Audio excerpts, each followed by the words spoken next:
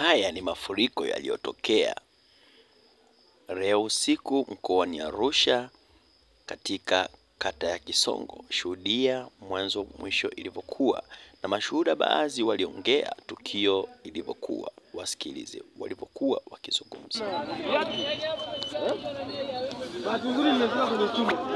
Ikanipiga seru. Kamata pikipiki yangu.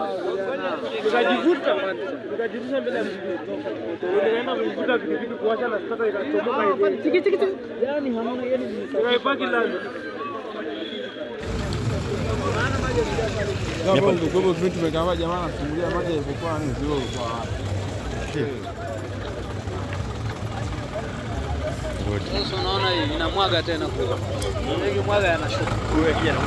Mimi jeshi la zimamoto naenda kulipongeza sasa hivi. Jeshi la zimamoto lapongezwa katika mkoa wa Arusha. Unamwambia usiendeshe gari. Viatu huko la anaendesha. Kama vile ndio tumeona mshamba. Hapa tena imebebwa. Iko pale imeshaharibika. Na imetulia pale na imeona Endelea tu mpaka endelea tu mpaka hapa kaja kwa watu. Jamaa alikuwepo. Eh, amepita kwenye kioo. Unamwambia mtu usiendeshe gari, anaambiwa kabisa bana subiri. Subiri nini gari naenda. Akiona gari imeinamisha hivi kichwa inafuata mkondo wa maji anaona zipo inaenda. Kupanda naye. Kupanda inaleta uchafu na inapula.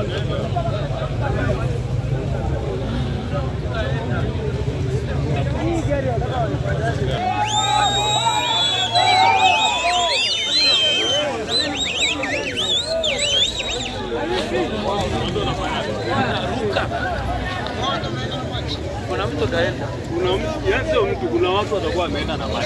yaani.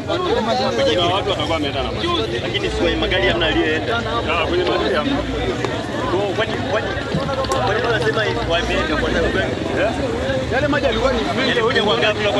Yalikuja kwa ghafla au yalikuja na?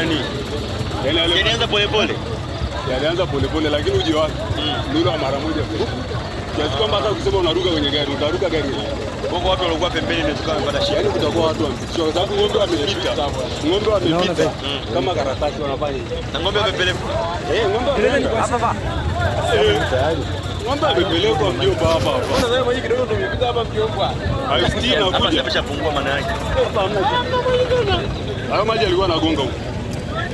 Maji yamekuja ile na leto kama vile karatasi. Unajua karatasi? Yaani imekuja ikagonga. Lete mbele imechukuliwa ile kama shot. Umeona yenyewe. Ndio ilikuwa mpaka na malenana hapo. Eh. Usilete mzaha. Pelekwa kafika pale ile ya UBS. Nataka nani tena. Ah, ndio ile Kuna ile ile ile. Eh. Ndio ile gani? Eh. Kuepishie mbali wewe watu waje. Hayo majuku alipotoka huko. Mara nyingi zilikuwa za milimani, kwa hiyo maji yanamwagikia huko. Haya maji ni huko juu. Mm, mengi ya milimani. Na haya maji hayajatokea ni kama mtu asidanganya, ametokea Sababu hapo mjini mvua inanyesha kidogo kidogo, kwa hiyo ametokea milimani. milimani huko, na mvua kule itakuwa imeanza kunyesha muda.